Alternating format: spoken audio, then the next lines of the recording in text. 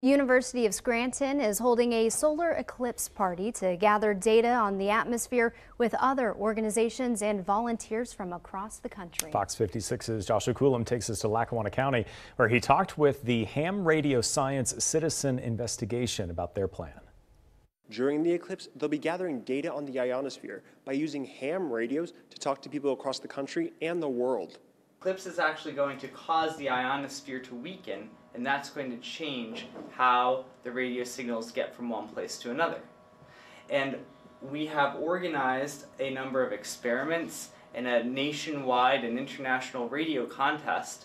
Dr. Nathaniel Frissell is leading the event from the university's new amateur radio station. He says he had the idea during grad school, and this event is his third. During the eclipse, you can't talk to someone you used to be able to talk to. On other frequencies, we actually see that you can talk to people who are farther away than you could before.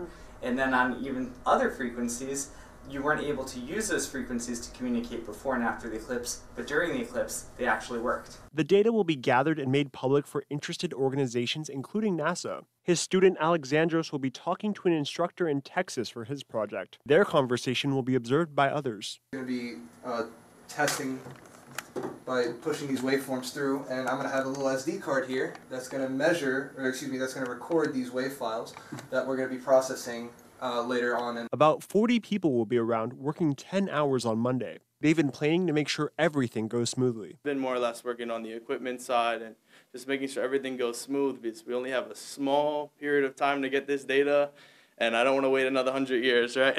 In Scranton, Joshua Coolum, Fox 56 News, first at 10.